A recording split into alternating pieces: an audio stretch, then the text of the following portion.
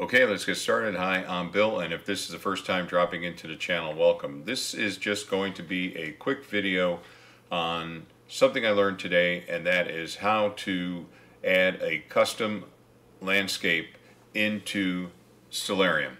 So I have been uh, sitting down earlier today, trying and yesterday, trying to figure out what my target calendar is going to look like this year. And so I got about 10, 11 targets so far. A couple of more I will add on. And I'm trying to profile them a little bit, know when, you know, uh, project when the best dates are to try and uh, image the target and all that. But it became clear to me that I really want to supplement my imaging time by uh, imaging from uh, my home as well as going to uh, other places. So my backyard was very uh, constrained bound by tall redwoods and everything. So I thought, well, what would it look like if I imaged from the front of the house, from the edge of my driveway? And so I went out there, looked around, there's trees there and everything. I said, there's got to be a way for me to profile uh, what the view of the sky is where I can import that into Stellarium and uh, then I can use that to try to evaluate which targets I would be able to see. And so uh, I'm just going to show you how I did that real quickly. Um, the first thing I did was uh, I did a search on uh, the web using Google and I found this app called Dioptra uh, camera app and so uh, I downloaded it it's free uh, the comments were favorable that I saw there but people weren't sure where the images went once they took these images that I'm going to share with you and I'll show you where uh, they are located or at least how you can get them on a Pixel 6 Pro um, here is kind of a view. I took just one image of the building uh, uh, that I see from the backyard. Key thing is this crosshair here in the center. You have uh, your altitude uh, elevation here. Uh, and over here you you try to hold your phone level. And the concept is you really want to put this crosshair right along the top of uh, the obstruction where the sky uh, starts. So uh, let's go uh, back and then, um, all right, and so let's go back and look at some of the images. And uh, so once you take a series of images, I'm going to just step through them here. Um, what you get is you start near zero. Uh, I'm going to show you a file of azimuth and uh, elevation and degrees that you have to build and you have to put in a script. But uh, anyway, you, you get your azimuth and you get your degrees here. And so here I am just kind of turning around, taking uh, pictures at different locations. Here's a tree that's an obstruction uh, in my front yard. You kind of see it here on the right hand side. So I want to measure how high that is. So I got to be at least probably 45 degrees. The target would, if it's below 45, probably would be obstructed by the tree. And you just kind of go around. There's across the street, another tall redwood. And so you just kind of take a series of images. Now, this was the first time I just really wanted to see if I could figure out how to import uh, this landscape into Stellarium. I may go back out and refine it, but it puts me in the ballpark of where my obstructions are. And so what, uh, after going through these uh, images and recording the azimuth and the uh, elevation, I built a little table like this. Now this is for my backyard. This is not for uh, my front yard driveway area.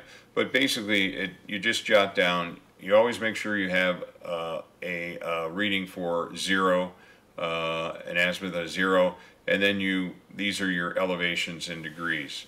So um, now let me show you real quickly how to get these images uh, where you can view them. Now, um, where did that go? Oh, I know what happened.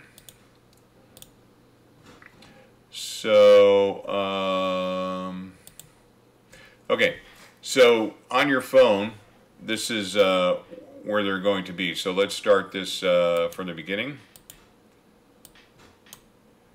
All right, and so what you want to do, at least on my Android, you want to go into settings, want to go into storage, down to images and then scroll across where your various image folders are and you see one for Dioptra. And then what you want to go up to the three dots up here and select all? And then uh, the share and I selected that I wanted to upload them to my uh, Google Photos. And then uh, they were uploaded. So and again uh, that's then here are those images here in uh, in Google Photos so um, alright I took the information I have my little uh, table here that I'm going to use and now the next thing I want to do is I want to find out where Stellarium is so it's in my program files Stellarium. I want to go into the uh, landscapes folder uh, and I'm I chose uh, Geneva as the uh, one that I was going to modify. Now something about uh, you're you're going to have to go into your properties into your security panel and you're probably going to have to change your uh, your settings uh, so for here, for desktop users, I gave them full control because the first time I did it, I couldn't change any of the files. Uh, so that's pretty straightforward Windows stuff there if you're on a Windows platform. So okay, so we go into Geneva and we go down here into this file here is the one uh, that we use as the template. And what you see here is uh, basically the layout is azimuth and altitude. And so um, I use this this table uh, as as a template. So then I created my own uh, driveway one, which is uh, the more important one. And then basically here are the values here uh, for azimuth and uh, and altitude. And I saved it, gave it uh, the name horizon underscore driveway. Uh, but then what you have to do is you have to go into this landscape and um, you're making a polygonal uh, horizon list and so you need to put the file name. Uh, this did say horizon underscore geneva dot text. I just changed it to read uh, my text file. Uh, actually, you know, I put in front yard and let's do that right here. was it front yard? Or driveway? Let's see, file and save. Let me see if that was the, uh, oh no, it was driveway. Okay, let me go back in and just change that to driveway. File save. Close that out. Now we're going to go back into Stellarium. And what you see here is the view of the sky where it read the backyard.txt file give me the uh, profile for the backyard. So now we're just going to close Stellarium and uh, we're going to reopen it.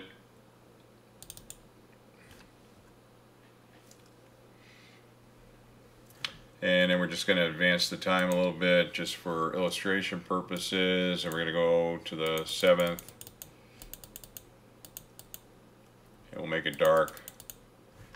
And then we're going to go into uh, the uh, sky and viewing options window. Uh, we're going to come into the landscape. Uh, we want Geneva.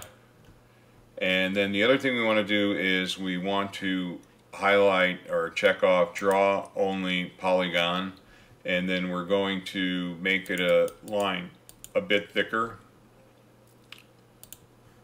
and then what we have here is now you see the view of the sky uh, that I have from the front yard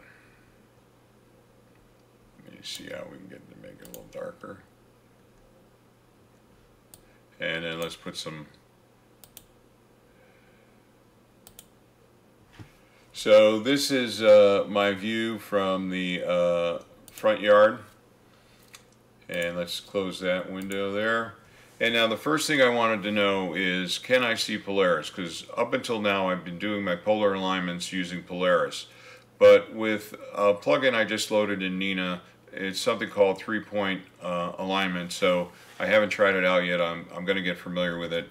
Uh, but I would like to just use Polaris if I can for my driveway so that I can image. So let's just go in here and select Polaris. And what I see uh, for where Polaris is for my driveway, I, I should be able to uh, uh, see it and therefore I can align on it.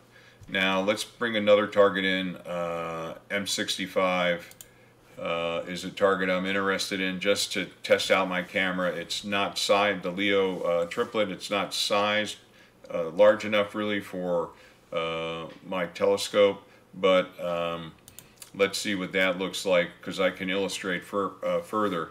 So I can go through my target list and I can bring each target in for the appropriate time of the year when they're going to be in the sky in, in my area. And then uh, what I can do here is I can kind of step through the night. Uh, there's different ways to do this, but uh, here we are at 10:30, and I can just step through the night and see how it moves through the sky. Up, you know, I can't pass. You know, looks like I got to stop around 2:30 in the morning, so I can um, profile the number of available imaging hours where the target is above a certain altitude, and for me that's generally 35 degrees uh, minimum altitude. Um, so uh, I've kind of solved the problem for myself.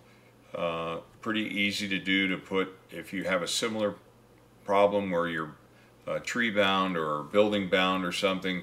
Uh, here's a quickly way, a quick way using Dioptra, Dioptra on a uh, Android phone anyway uh, to kind of do a profile to see what the actual uh, usable uh, view of the sky you have for imaging. So, all right, I think I covered everything. And um, other than that, uh, if you like this kind of content, please give it a thumbs up.